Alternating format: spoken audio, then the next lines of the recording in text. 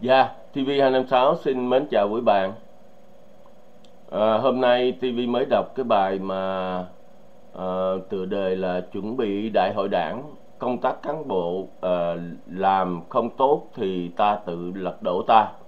Đây là cái tựa đề bài viết của ông à, nguyên là à, chủ tịch nước à, Trương Tấn Sang à, vào ngày 17 tháng 2 năm 2012 mới hôm qua thì à, à, TV256 à, muốn phân tách một chút xíu điểm và TV256 đưa ra nhiều cái bài báo đã lên tiếng về những uh, tội ác của Trương Tấn Sang đã đã gây ra. Mời quý anh chị em đón xem.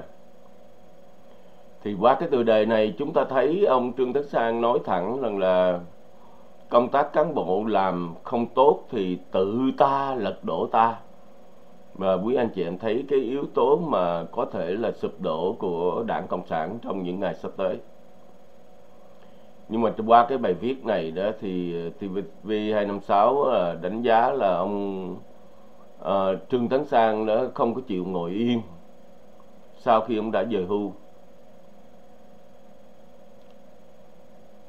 Thì ờ, đại khái trong cái bài viết này thì ờ, TV cũng không có cần ờ, phân tích nhiều.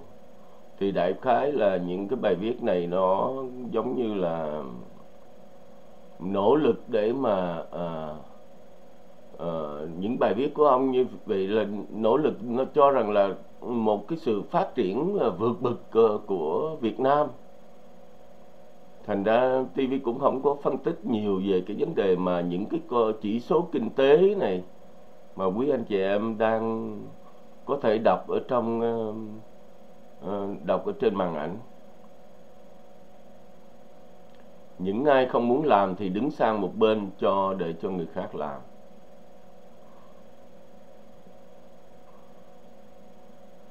Đó TV đưa ra những cái hình ảnh bài viết thì nếu mà quý anh chị em có thể thì cứ cứ đọc những lời đó. À, có thể TV đọc một đoạn này ha. Cũng nhìn vào những diễn ra hôm nay mới thấy trách nhiệm khuyết điểm của nhiệm kỳ đại hội khóa 12, 11 là không hề nhẹ. Nhất là trên hai mặt chỉ đạo phát triển kinh tế và xây dựng đảng những tổn thất về uy tín chính trị sự đỡ, sự đổ vỡ niềm tin à, là khó có thể đong đếm được. Tôi thấy cần thiết phải nhắc lại à, lại lời bác hồ dạy đó. À, mấy cái tên mà nói thật mà khi mà họ đưa ra cái nói là lời của bác hồ dạy thực ra nó chẳng có phải là cái quái gì cái này là cái chiêu mà đầu độc ờ, giới trẻ đầu độc báo chí đầu độc à, mọi người thôi. Ừ.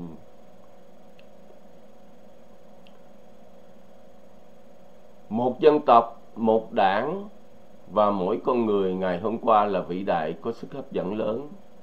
Không nhất định hôm nay và ngày mai vẫn được mọi người yêu mến và ca ngợi. Nếu lòng dạ không trong sáng nữa nếu xa vào chủ nghĩa cá nhân mà mình thấy đó cái câu à, ông nói bác hồ dạy như thế nhưng mà sự thật là à, tên trương sáng sang này toàn là làm những cái chuyện mà chủ nghĩa cá nhân. Một chút xíu nữa mình đưa ra nhiều cái dẫn chứng về cái chủ nghĩa cá nhân mà Ờ, ông Trương Tấn Sang, ông muốn nói đến.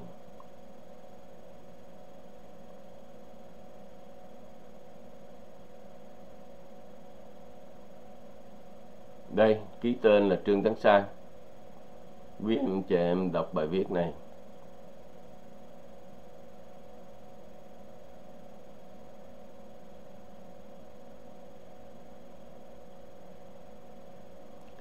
Thì ổng có vẻ là ông khen thưởng những cái việc làm của Nguyễn Phú Trọng dựa hơi Nguyễn Phú Trọng thì đúng hơn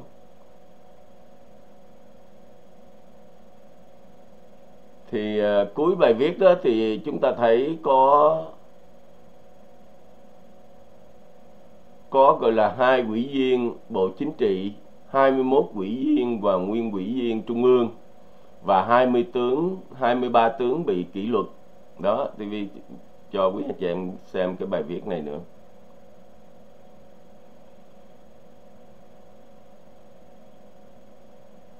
hai ủy viên Bộ Chính trị, 21 ủy viên và ủy viên Trung ương, 23 tướng bị kỷ luật. Một cái đất nước mà như vậy mà ông vẫn tán thưởng như thường. Nhưng mà ngoài cái sự tán thưởng thì ông cũng nói cái lý do mà có thể là sụp đổ cái của cái chế độ.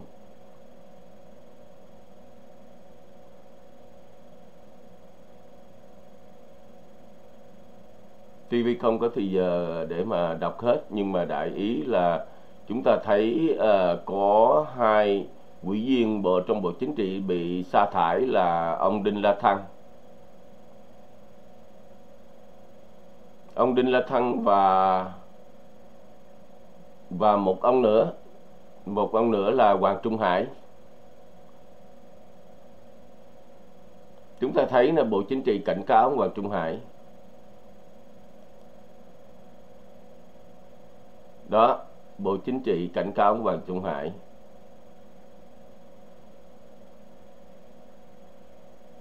Ông Hoàng Trung Hải, ông đây vi phạm những điều như thế nào ha?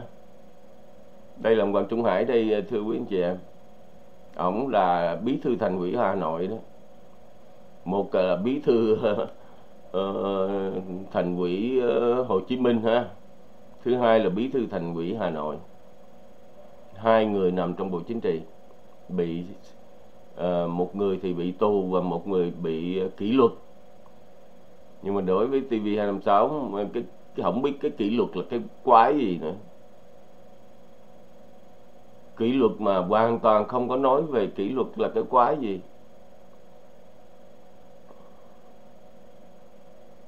Đó đây là những điều mà ông à,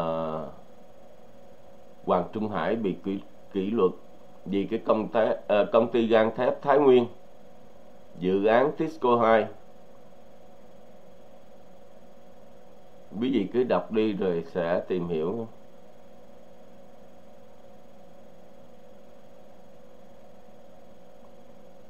Nó làm cho TV256 nhớ đến ờ, cái bản chất ờ, thô bỉ của người cộng sản.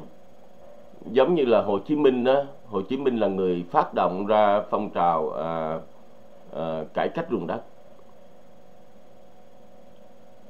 Thì Hồ Chí Minh lại đổ lỗi cho Trường Chinh là cái người mà thực hiện sai là để làm cho nhiều cán bộ giết lẫn nhau và giết oan gọi là ngút trời luôn. 172.008 người dân đã bị chết ở trong cái vụ cải cách ruộng đất. Rồi Hồ Chí Minh là người phát động cái phong trào đó. Lại đi à, à, tố cáo cái tội ác của Trường Chinh. Nhưng mà sau này đó Trường Trinh lại trở thành lại là chủ tịch nước. Chúng ta thấy cái điều mà gian manh của, của, của đảng cộng sản như vậy. Họ tố cáo họ kỷ luật đó nhưng mà rồi họ đưa ra một cái chức vụ khác.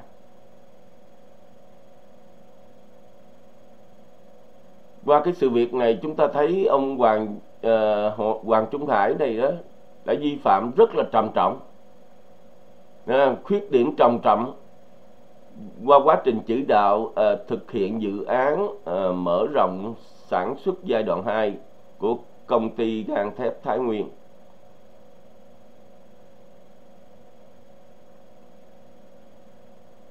Vi phạm đủ thứ hết á mà rốt cuộc bị kỷ luật thôi. Mà không biết kỷ luật là cái gì nữa. Thay vì phải nói kỷ luật là đánh 100 hèo hay là cái gì thì mình còn nghe mình chấp nhận được. Ừ, kỷ luật đó bằng bằng cách đó nói thiệt đó là uh, đưa ra để mà chọn một người khác để mà ông, ông Hoàng Trung Hải nhận một cái nhiệm vụ mới. Đó là các kỷ luật của của uh, bộ chính trị đó thưa quý anh chị em. Bây giờ ông Hoàng Trung Hải nhận một trách vụ mới kỷ luật gì gì kỳ vậy? Anh đánh tham nhũng gì kỳ vậy? Ừ.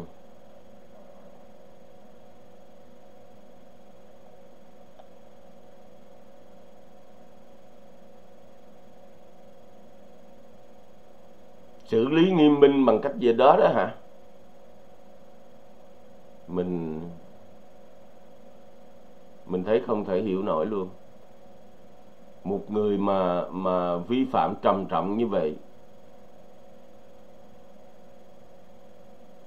mà chỉ có mang tính cách là kỷ luật thôi.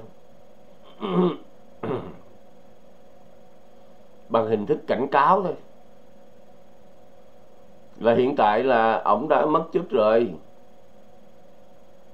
Hoàng Trung Hải đã đã bị uh, đưa ra rồi là uh, không còn gọi là bí thư thành ủy Hà Nội nữa.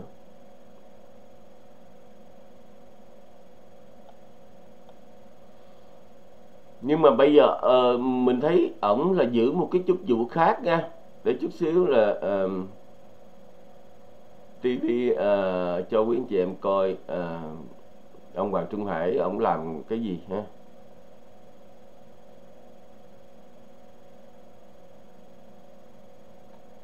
Bây giờ ông là cái chức vụ gì khác đó. TV mới đọc qua đó mà bây giờ không biết nằm đâu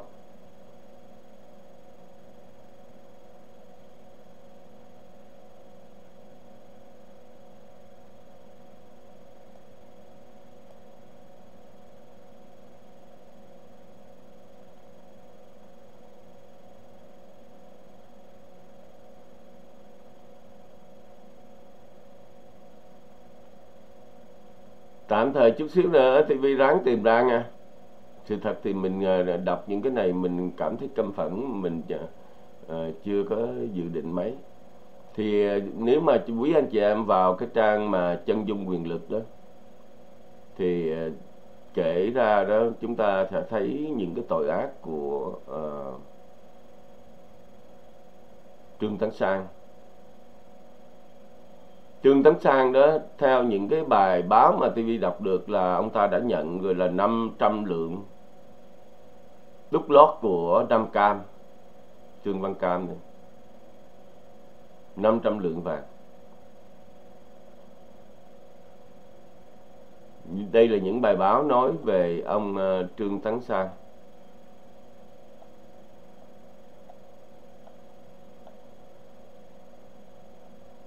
Qua cái vụ liên quan đến Nam Cam quý anh chị em ờ, có thể đọc ờ, theo dõi ha. Rồi cái mà à, đây cũng là những cái bài báo của à, nói về à, ông Trương Tấn Sang.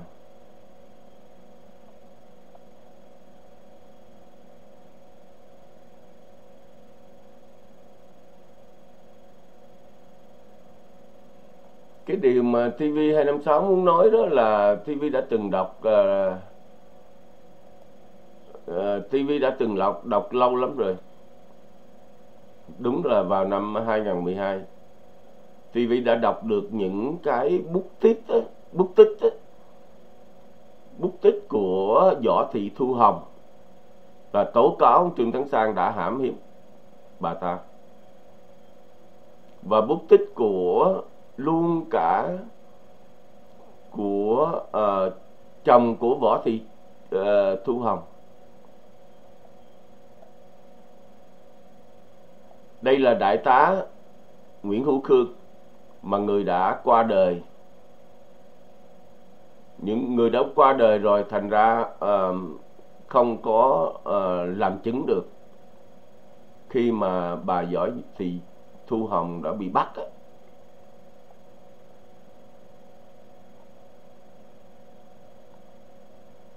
đây là uh, những cái bút tích của bà Võ Thị Thu Hồng mà viết tay á thì TV cũng đã từng ờ, đọc hết rồi.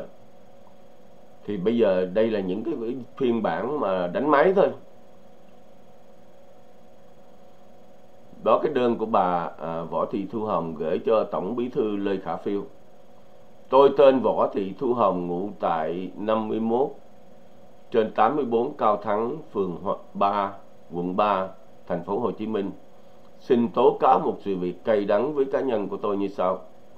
Vào khoảng năm 1993, một hôm ông Quỳnh Văn Thành, tức là Tám Thành, lúc đó là bí thư quận ủy quận 3, yêu cầu tôi cùng ông ấy đến khách sạn Hòa Bình, số 57 đường quốc lộ 15 Biên Hòa, Đồng Nai, để tiếp và làm việc với ông Tư Sang, lúc đó là chủ tịch ủy ban nhân dân thành phố Hồ Chí Minh.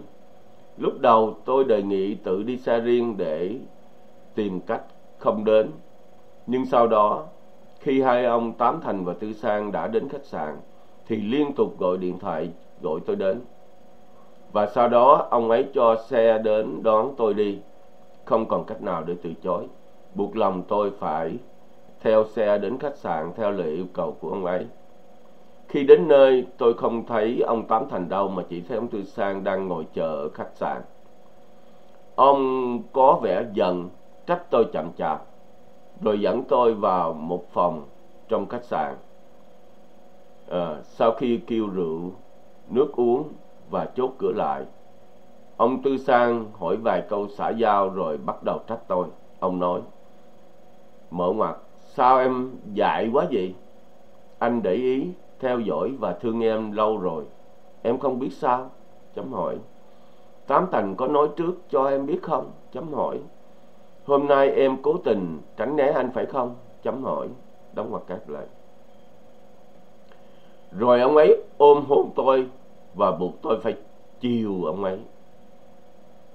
Lúc bấy giờ tôi không còn cách chống đỡ nào khác. Đành chịu đựng và khóc. Ông tư sang dỗ dành và hứa hẹn sẽ lo lắng giúp đỡ cho tôi trong công việc và cho xe đưa tôi về. Ông Tư Sang còn ở lại đó. Rõ ràng tôi phải ngủ với ông Tư Sang vì bị bắt buộc và không còn cách kháng cự nào khác. Đây là cái thư của bà Võ Thị Thu Hồng. Viết tay nha, viết tay đàng hoàng mà TV đã đọc được. Nhưng mà bây giờ TV cũng không có nhiều thì giờ để mà để mà có thể uh, lục ra những cái bút tích của của của bài Võ Thị Thu Hồng.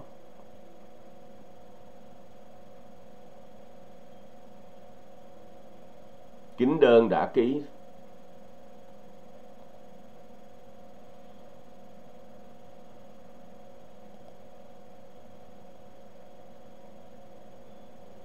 đây á, là có phần mà TV tìm được cái phần mà bút tích của uh, chồng của uh,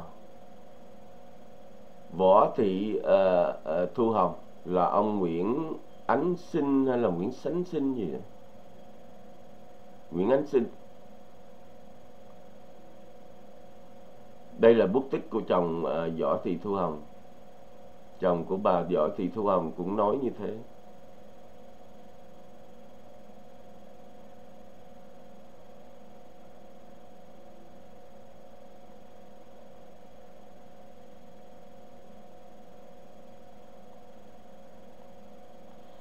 Rồi sau cái vụ năm cam đó xảy ra đó thì ờ, uh, ông cũng bị kỷ luật. Trương thắng sang bị uh, kỷ luật. Đây là trái trang nhà của những thằng nham hiểm cũng nói về trương thắng sang. Họ nói về rất nhiều về tội ác của trương thắng sang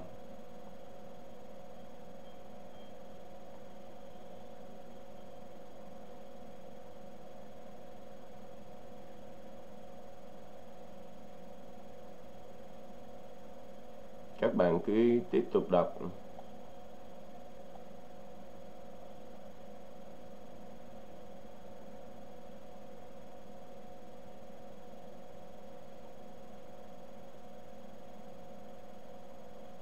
Nè, nạn nhân võ thị thu hồng bị hiếp dâm và có đơn tố cáo này nhưng mà cái lưu manh là cái ông mà nhận cái đơn tố cáo đó là đại tá Nguyễn Hữu Khương giám đốc công an thành phố Hồ Chí Minh. Nhưng mà rốt cuộc ông Khương này đã bị ờ, uh, TV không biết là ông đã khuất rồi là ông đã qua đời rồi. Thì mới giao cho phó ban tổ chức uh, trung ương Nguyễn Đình Hương để mà ông này lại là ông đứng uh, coi như là cứu cứu Trương Tấn Sang. Trương Tấn Sang không phải là chỉ có Lê Em với bà Võ Thị Thu Hồng mà còn với Bùi Thị Hương rồi với uh, Mai Hồng Quỳ. Đây là hình ảnh của bà Mai Hồng Quỳ. Nhiều lắm. Rồi Đặng Thị Hoàng Yến. Rồi ờ, kiều nữ Lý Nhã Kỳ nữa.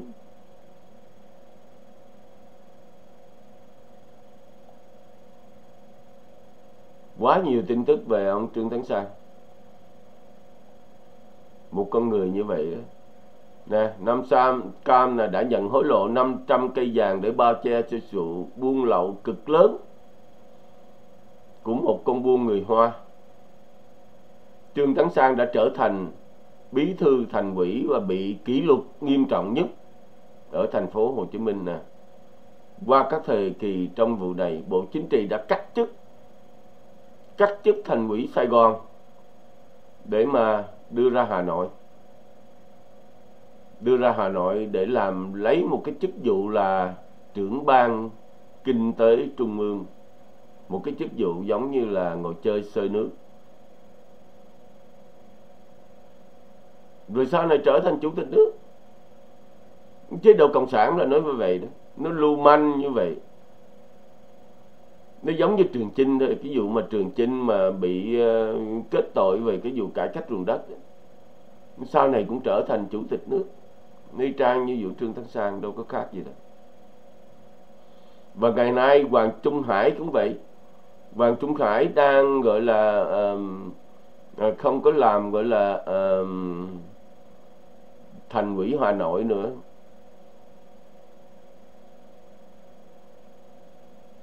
Mà bây giờ lại trở thành để mà một cái vai trò gì khác đó mà TV 256 đang đang tìm ra để coi nó nó nói cái gì á. Đây là những cái cái cái cái cái cái cái bút tích của bà Võ Thị Thu Hồng. Nè, đơn này do chị Hồng trực tiếp chuyển cho tôi. Nguyễn Hữu Khương đã ký là đại tá Nguyễn Hữu Khương mà TV nói với anh chị em mà ông ờ, Nguyễn Hữu Khương này ông đã bị qua đời không biết gì lý do gì? Không có không biết có vụ mà liên quan đến cái vụ án này không? Tại vì ổng là người nắm giữ những cái cái cái bút tích như vậy. Tại vì cái cô võ thị thu hồng lại là tố cáo trước uh, ông đại tá này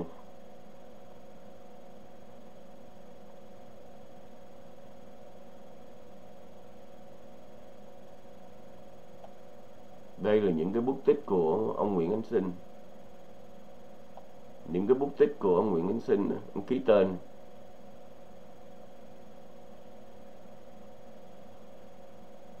Nhiều lúc vợ chồng tôi to tiếng cãi giả đòi ly dị nữa. Tại vì vấn đề mà mà ổng uh, cưỡng hiếp. Bà võ thị thu hồng.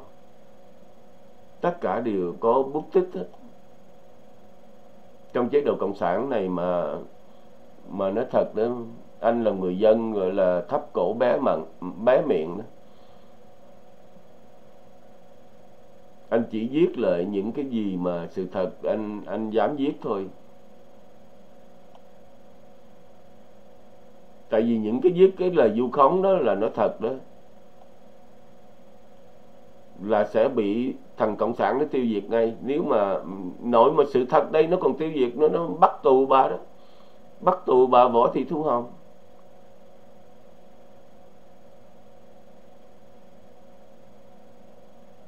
Chế độ mang rợ. Mà những người như thế đó lại là trở thành chủ tịch nước. Thế mà khoác lác rồi là nói chuyện rồi là huyên thuyên với ừ, Hoàng Duy Hùng. Hoàng Duy Hùng à, là cũng gặp anh Trương Tấn Sang này à, lợi nhà Trương Tấn Sang đó quý chị em Hoàng Duy Hùng. Những tên mà mà tội ác đối với người dân như vậy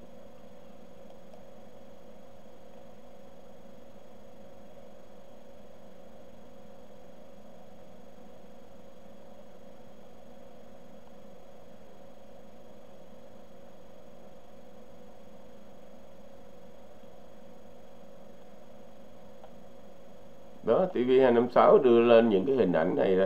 Nếu mà quý anh chị em theo dõi thì làm ơn đọc dùm cho TV256 tự mình đọc rồi mình tìm hiểu về tất cả những gì nó xảy ra. Và nó được đăng tải rồi là khắp nơi vào năm 2012 những gì xảy ra.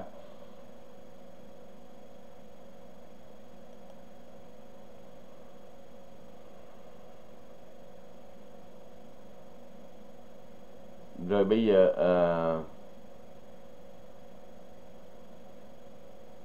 để TV tìm cái phần mà ông Hoàng Trung Hải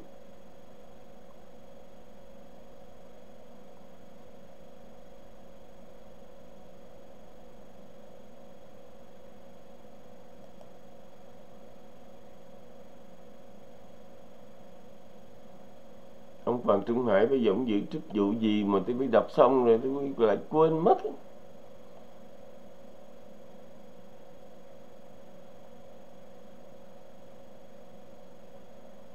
Chống tham nhũng cái cách gì?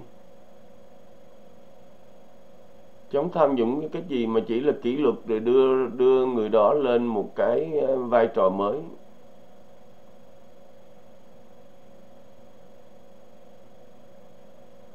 Một cái vai trò mới mà bây giờ TV lại không biết là nó nằm ở đâu chứ. Rồi mai mốt Hoàng Trung Hải lên trở thành chủ tịch nước cho coi nha. Cái chế độ cộng sản nó là vậy đó. Không cần anh biết vi phạm tội ác như thế nào, nhưng mà chắc là anh có công với cách mạng, thành ra mai mốt anh trở lên chủ tịch nước.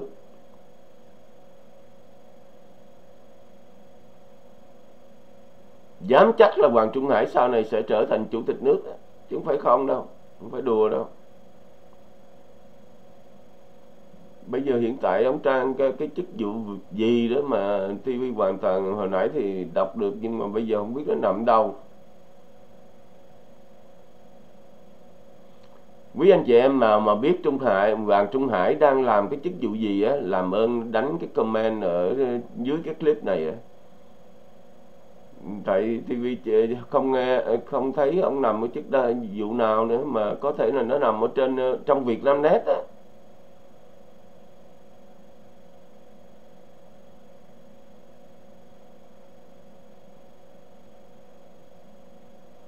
để TV tìm coi Hoàng Trung Hải ông nắm cái chức vụ gì ấy.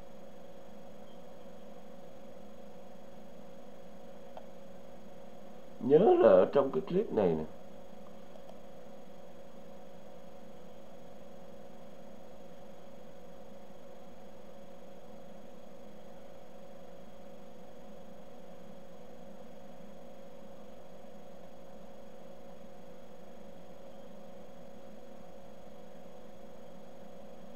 Chắc là clip này đúng rồi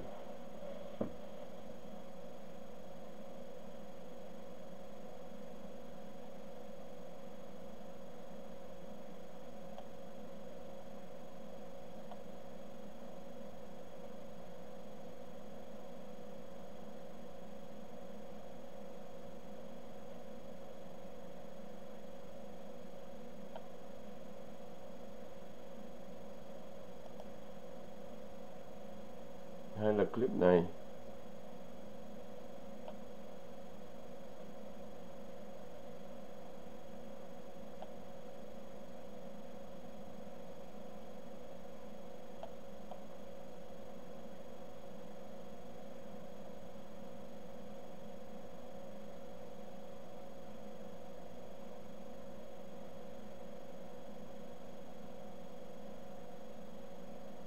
hmm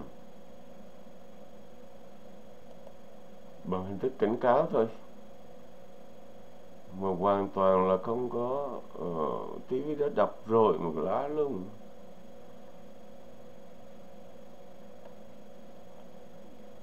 Đây nói về cái vụ đồng tâm.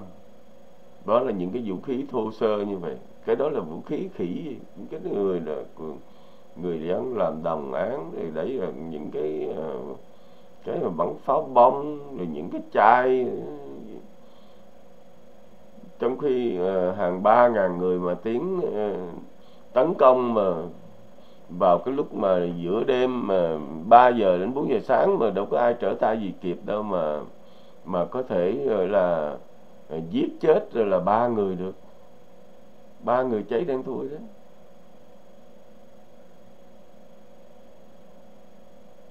Ba chiến sĩ hy sinh, một đối tượng chống đối chết vụ việc này đã nói nhiều quá rồi. Một chế độ tàn bạo vô luân. Mà chỉ nói như vậy.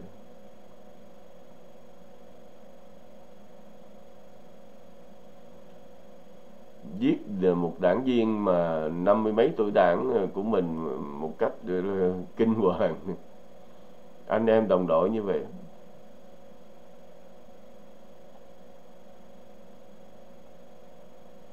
Mà không có chống đối gì đâu.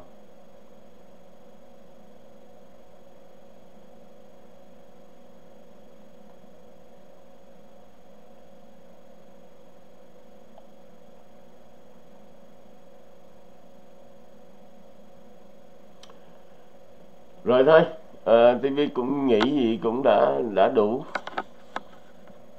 Giờ TV cảm ơn quý anh chị đã lắng nghe nha.